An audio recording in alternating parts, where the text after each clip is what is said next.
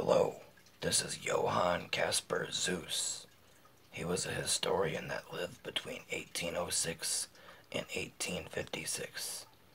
He was the founder of Celtic philology